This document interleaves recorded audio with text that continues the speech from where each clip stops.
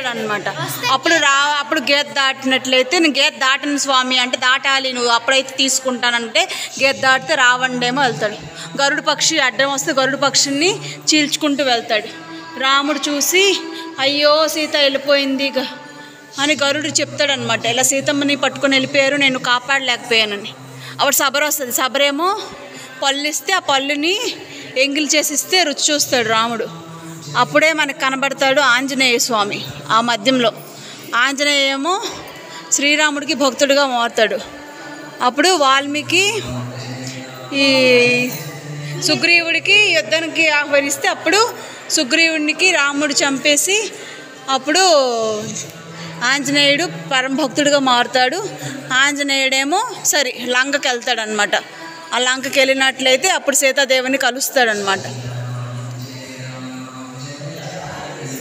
సీతమ్మ దేవి ఆడంటాడు రావణాసుడు నా దగ్గర లొంగిపో అని. అయినా వినరు?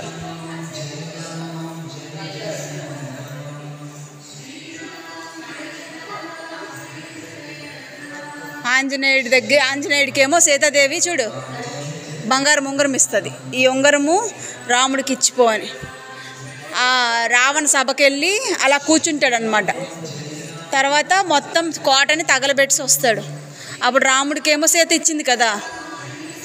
రింగ్ రింగ్ ఇస్తారు.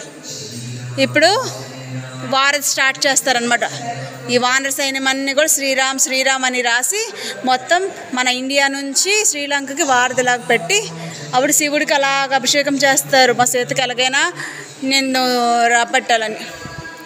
అలాగా. రావణుడికేమో రావణుడి మీద విషప్రయోగం చేస్తాడు రావణుడు అనమాట అప్పుడు లక్ష్మణుడు ఏమో ఏమవుతాడు? కొలతీరి పడిపోతాడు. అప్పుడు పర్వతం తెస్తాడనమాట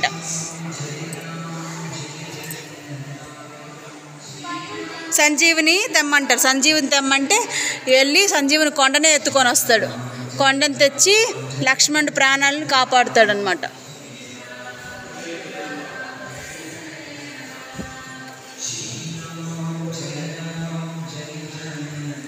కుంభకర్ణుడు. కుంభకర్ణుడు ఎవరు అంటే మన రావణుడు వాళ్ళ బ్రదర్ అనమాట కుంభకర్ణుడు పిలుస్తాడు. కుంభకర్ణుడు అందరిని చంపేస్తాడు. ఆఖరికి కుంభకర్ణుడిని లక్ష్మణుడు ఇచ్చేస్తాడనమాట యుద్ధాన్ని ప్రకటిస్తారు. రావణాసుడు ఎంతకీ చనిపోయే చనిపోకపోతే తన నాభి యొక్క కడుపులోని బొడ్డు ఉంటుంది కదా అక్కడ కొడతారనమాట అప్పుడు సీతను తీసుకొని తన రాజ్యానికి పయనమవుతాడు. అది సీతారాముల ఎండింగ్